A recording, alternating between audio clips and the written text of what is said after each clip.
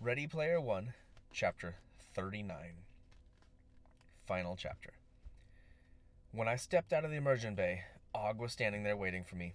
Well done, Wade, he said, pulling me into a crushing bear hug. Well done. Thanks, Og. I was still dazed and felt unsteady on my feet.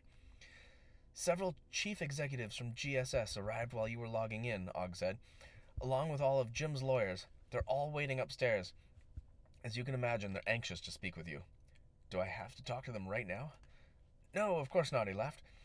They all work for you now, remember? Make the bastards wait as long as you like. He leaned forward. My lawyer is up there too. He's a good guy, a real pit bull. He'll make sure that no one messes with you, okay? Thanks, Og, I said. I really owe you. Nonsense, he said. I should be thanking you. I haven't had this much fun in decades. You did good, kid. I glanced around uncertainly. H and Shoto were still in the immersion bays, holding an impromptu online press conference, but Artemis Bay was empty. I turned back to Og. Do you know which way Artemis went? Og grinned at me, then pointed. Up those stairs and out the first door you see, he said. She said she'd wait for you at the center of my hedge maze. He smiled. It's an easy maze. Shouldn't take you very long to find her. I stepped outside and squinted my eyes, adjusted to the light. The air was warm, the sun was already high overhead. There wasn't a cloud in the sky.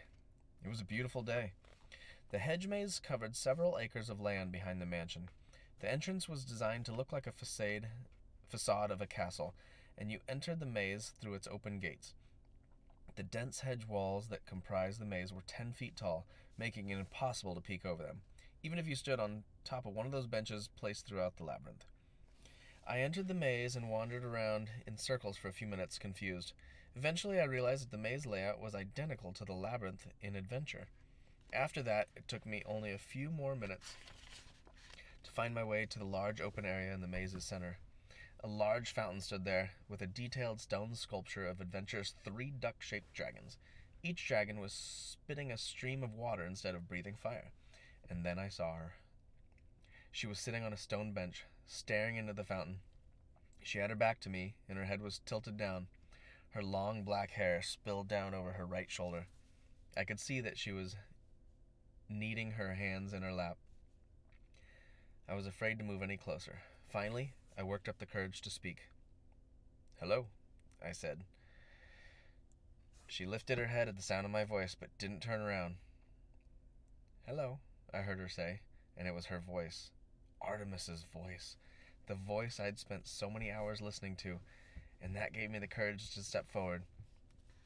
I walked around the fountain and stopped once I was standing directly in front of her. As she heard me approach, she turned her head away, averting her eyes and keeping me out of her field of vision, but I could see her. She looked just as she had in the photo I'd seen. She had the same Rubenesque body, the same pale, freckled skin, the same hazel eyes and raven hair, the same beautiful round face with the same reddish birthmark. But unlike in that photo, she wasn't trying to hide the birthmark with a sweep of her hair. She, she had her hair brushed back so I could see it. I waited in silence, but she still wouldn't look up at me. You look just like I always pictured you, I said. Beautiful.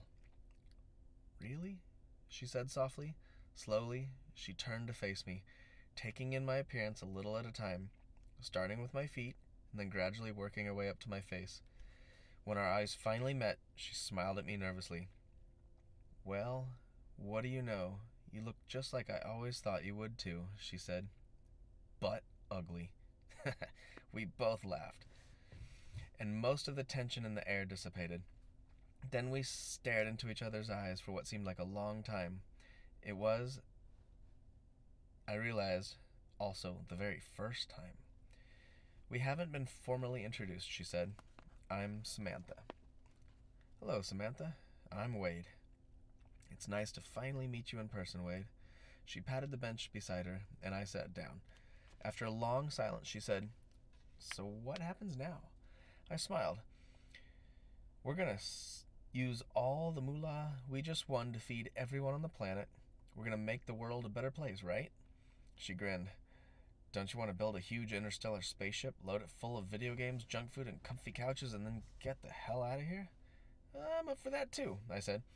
If it means I get to spend the rest of my life with you. She gave me a shy smile. We'll have to see, she said. We just met, you know. I'm in love with you. Her lower lip started to tremble. You're sure about that? Yes, I am, because it's true. She smiled at me, but I also saw that she was crying. I'm sorry for breaking things off with you, she said, for disappearing from your life. I just. It's okay, I said. I understand why you did it now. She looked relieved. You do? I nodded. You did the right thing. You think so? We won, didn't we? She smiled at me, and I smiled back. Listen, I said. We can take, take things as slow as you like. I'm really a nice guy once you get to know me, I swear. She laughed and wiped away a few of her tears, but she didn't say anything. Did I mention that I'm also extremely rich? I said, Of course, so are you, so I don't suppose that's a big selling point. You don't need to sell me on anything, Wade, she said. You're my best friend, my favorite person. With what appeared to be some effort, she looked me in the eye. I've really missed you, you know that? My heart felt like it was on fire. I took a moment to work up my courage. Then I reached out and I took her hand. We sat there a while, holding hands, revealing, reveling in the strange new sensation of actually touching one another. Some time later, she leaned over and kissed me. It felt just like all those songs and poems had promised it would. It felt wonderful, like being struck by lightning.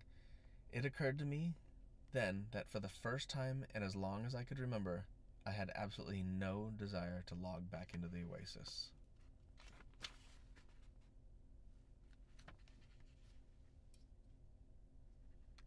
That's all, folks.